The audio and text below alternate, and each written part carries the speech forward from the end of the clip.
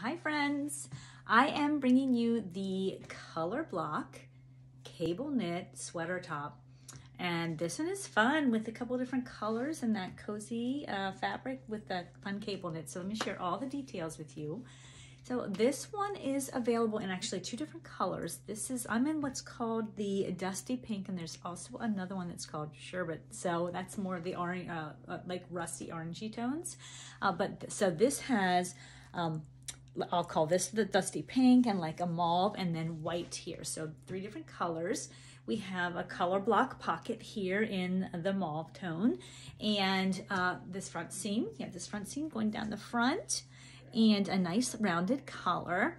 It's a really, I have it front tucked here. I'm gonna pull it out so you can see the length. It's a really, really nice length um, to wear out easily over a pair of leggings if you wanted and it's it's just really comfy. It is um I'm calling it a sweater top. It's like a light sweater material, but a little bit has a little bit more structure to it. Has that fun um, different cable knit design there on the different fabrics. And the back is solid white.